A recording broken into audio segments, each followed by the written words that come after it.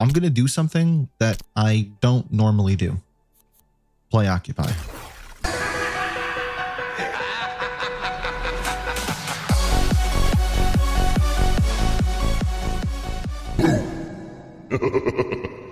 hey guys, NyteFalll here, and there have been achievements I've gotten in this game and sort of outside this game that I haven't seen anyone else do, like 82 kills in a zone control game, most playtime in the US as Highwayman, getting the Smurfs top 500 rewards taken, and assisting in shining a light on one of XDefiant's most scummiest players, Kainuru, resulting in several bans of his accounts.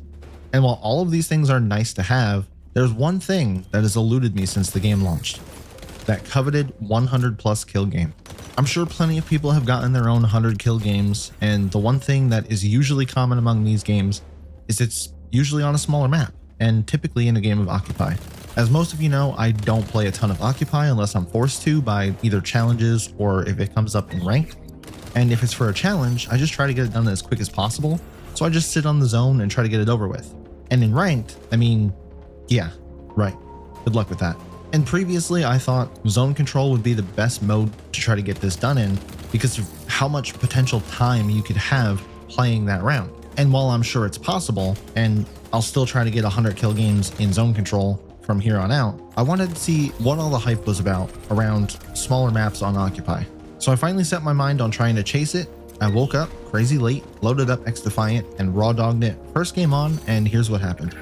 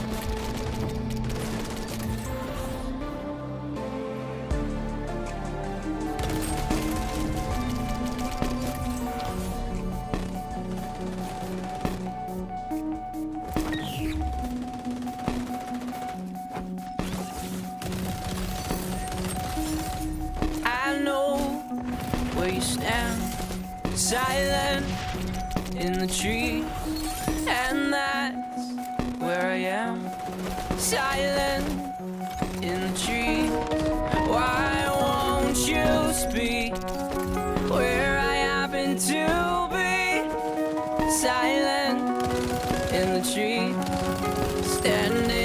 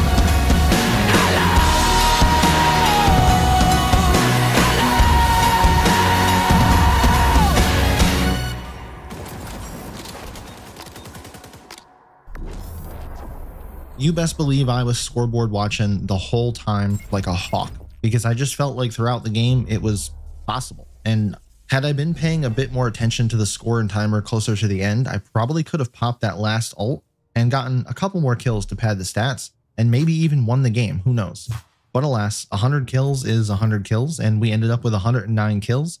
And if you didn't pay too much attention, I was using the holo sight the whole time on my vector. See what happens when you don't turn your back on the holo sight gods? They reward you with games like this. Anyway, if you enjoyed this type of content, make sure to hit that like button and subscribe to the channel, and I'll catch you in the next upload.